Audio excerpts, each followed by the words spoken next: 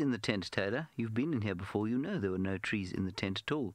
In fact, it is a treeless environment. But what we have got here is a little grasshopper. Probably a form of Theracles.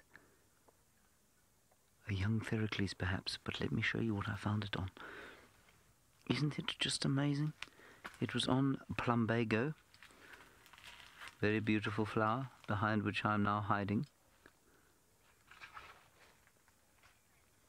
Yes, and we will microscope all of this stuff, of course.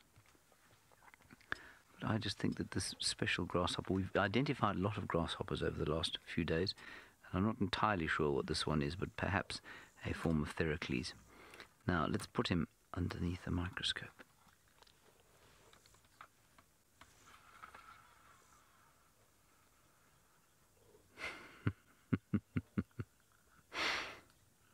wait. Wait, Kirsten, wait.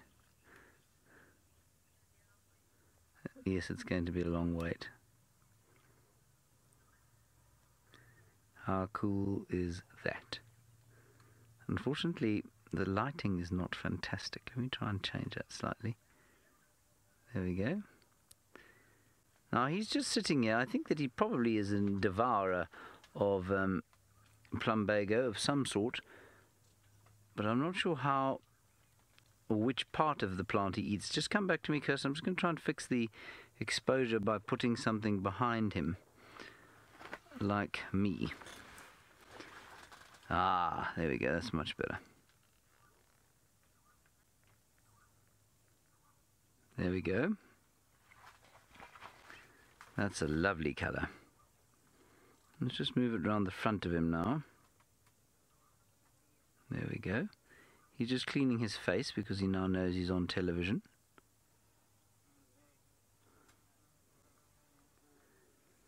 And, oh wow, look at his mouth parts.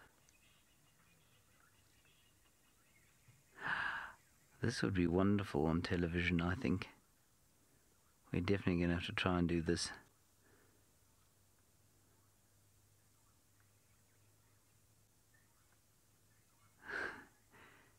He knows something's up.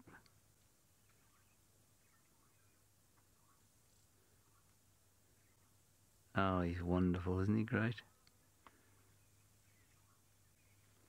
Now that's a sort of chomping mechanism he has on the front of his face there. That's like his sort of mouth, his teeth. And I think that sort of plate that comes down sort of centrally there is probably like a great big tooth that he uses to chomp away, to scrape away. They will eat along the edge of a leaf, and that will scrape off bits of leaf. And then with those other bits, he will scrape them into his mouth and down into his belly. And look at his little feelers. Yes, and Daniel, of course, the obvious thing to say here is, What big eyes you have. Well, indeed, he does have big eyes. He's not a predator, though. So they're not very much there to see you better, Daniel, but to see the things that are going to come and eat him. And Daniel, I'm going to assume that you do not eat these things. And R. Laura Moore, this is something that I've started to notice as well. You say that he's got short antenna. I think that you find, R. Laura Moore, that most grasshoppers have got short antenna. Most locusts, they don't seem to have the long antenna. They always look outlandishly small, though, don't they? They look like they've been sort of um, chopped off by mistake. And this guy is now cleaning his foot with his mouth. I hope that he's washed his feet because that can be very unhealthy. One doesn't like to lick one's own toes. It's a little bit disgusting. Let's just have a look at his amazing back legs.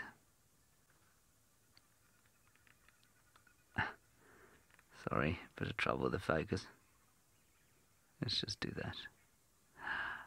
Look at that. And those, of course, the instruments with which he attracts his ladies. Now, this is a young grasshopper, and I know that because his wings are not developed properly yet. And so, although he's got those spines on his back legs, he won't be doing a huge amount of violin playing or stridulating. And James, I think probably to a certain extent, you say, are those hairs on the back legs there for sensory purpose? Yes, I think there probably are. There you can see them there. I suspect they are. I'm not sure how sensitive they are, but I imagine they probably are there for sensory purposes. Then I wanted to show you, you see how he's, you can see him either, it's either his little rudimentary heart beating or his digestive tract that is doing some work there. You can see that. Let's go back to his face. I think this creature could easily pose for very gorgeous sort of photographs put on your wall. Especially with my hairs sticking out the top right hand side of the picture. Very nice. Right, well, I think we'll put him back on his plant now. I think that was very cool. And then let's put him on here. Well, let's look at here first. Polly, you said something about the eyes. What was that? Oh, do they do anything, the colours in his eyes? I don't know. I imagine they must have some function.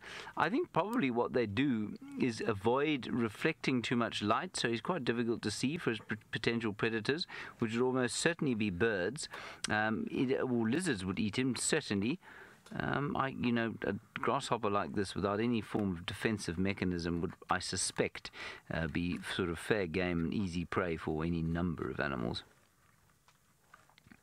Okay, let's see. Oh dear, having trouble with my microscope today. Sorry, Ferg.